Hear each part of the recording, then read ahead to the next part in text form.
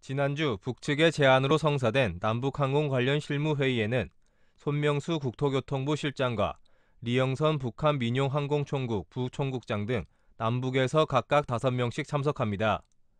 이번 회의는 논의 의제가 정해지지 않은 상태에서 만나 전반적인 항공협력 방안에 대한 논의가 될 것으로 보입니다. 북측은 이 자리에서 영공 통과나 직항로 개설 등을 주요 의제로 꺼낼 것으로 관측됩니다. 북한은 지난 2월 국제민간항공기구에 국제항로 신설을 요청했는데 그 가운데 하나가 인천 평양 노선입니다. 또 국제공항으로 확장한 원산 갈마공항 활용과 서해 직항로 확대 운영을 제한할 수도 있습니다. 우리 정부는 신중한 입장입니다.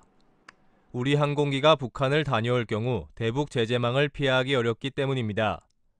또 군사 분계선 우회가 아닌 비행 금지 구역을 통과하는 노선을 만들려면 유엔사와의 협의도 거쳐야 합니다.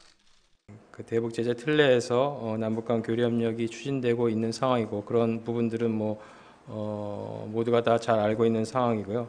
어, 그래서 항공 협력 관련해서 현 단계에서 어, 추진 가능한 분야가 있는지 한편 남북은 2007년 14선언으로 백두산 관광에 합의하고 직항로 개설과 삼지연 공항 개보수 공사를 추진했으나 남북 관계 경색으로 중단된 바 있습니다.